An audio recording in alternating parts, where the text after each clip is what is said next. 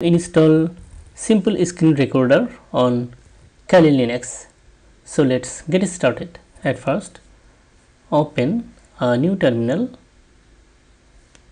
and then write this command to update your system with sudo privilege sudo apt update then hit enter.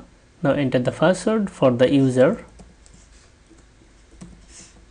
hit enter it may take a while for updating the system.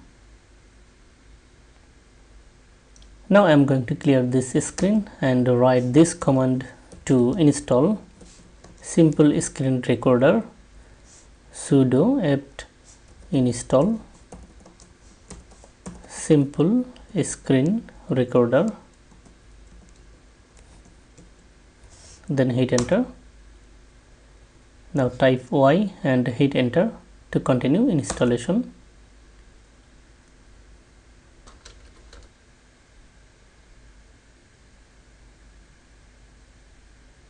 Now open application launcher and search for simple screen recorder. That's it. Simple screen recorder installed successfully on Kali Linux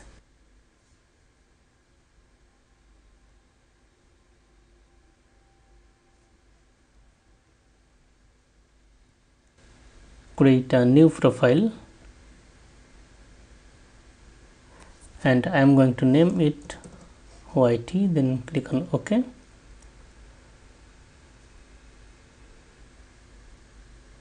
Then click on continue to record a screen using simple screen recorder. Select the output profile and then browse the folder where you want to save the recorded file using simple screen recorder. And here write the name of the file.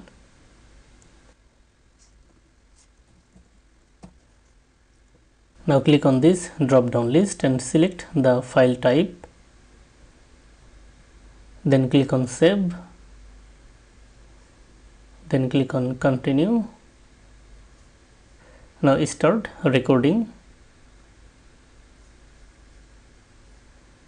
Now I am going to save this recording. Open folder. Here you will see the output. That's it. If you like this video like comment and share Thank you so much for watching this video.